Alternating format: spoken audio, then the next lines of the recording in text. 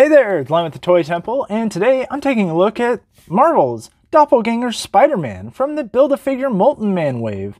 And this spider doppelganger is terrifying. It's super creepy.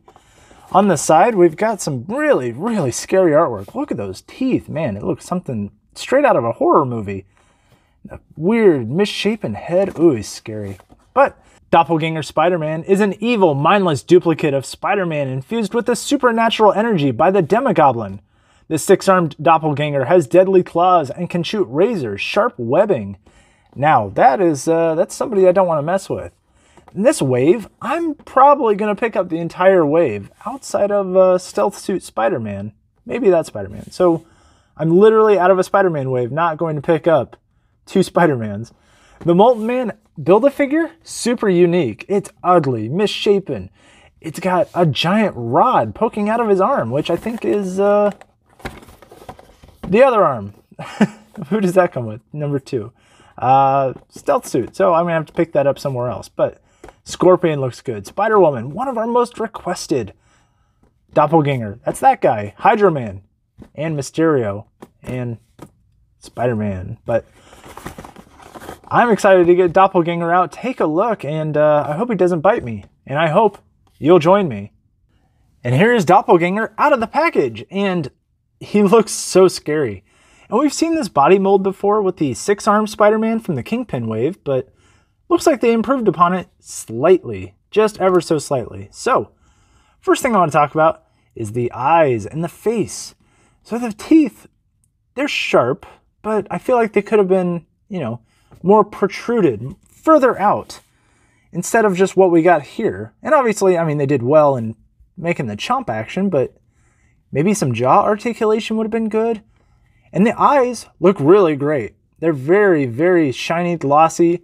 They look great. But the most important thing on a Spider Man figure, no matter if it's Doppelganger or Peter Parker, is the webbing along the body. And they didn't do it.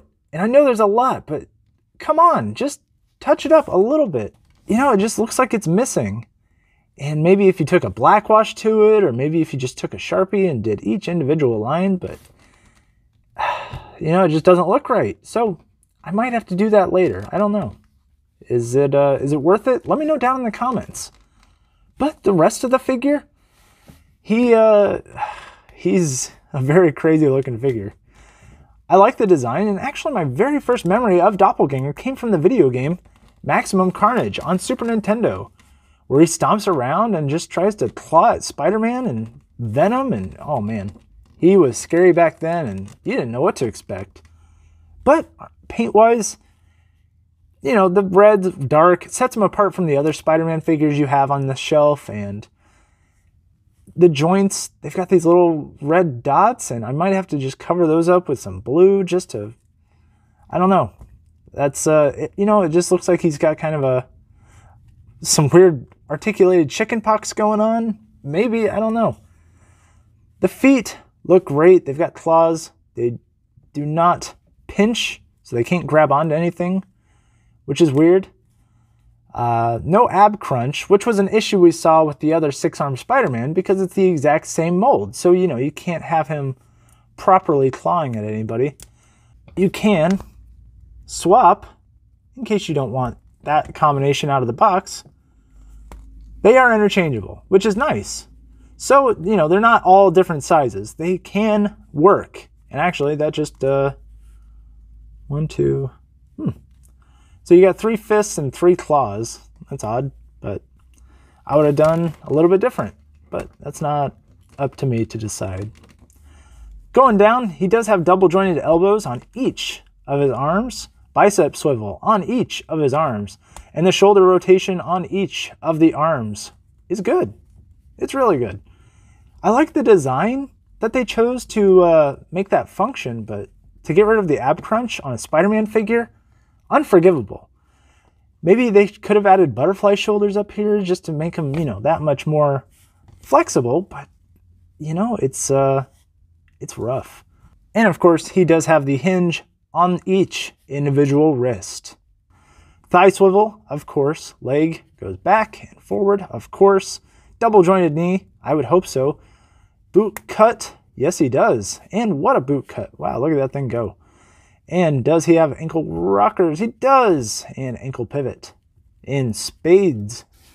So it does take a bit of effort to get him into a crawling motion, but I don't know if that's enough. If he had the ab crunch, he could bend his body, you know, forward and then really get that like look to him, but otherwise it just looks like uh I don't know, is that is that decent enough to call it crawling? I don't know.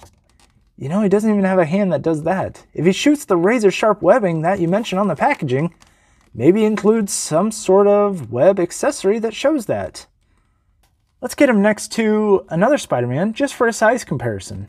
And here's your size comparison between both Spider-Man 2099 and the classic butterfly shoulder, perfect articulation Spider-Man outfit. And you've got Doppelganger, who looks a little smaller. You'd think that he'd be much, much larger, but he's uh, he's a little bit on the small side for a monster. So what are my thoughts on Spider-Man Doppelganger? Well, he's missing quite a bit. He's missing the uh, paint lines. He's missing accessories. The face is good, but not good enough. And not to mention the articulation, a little off.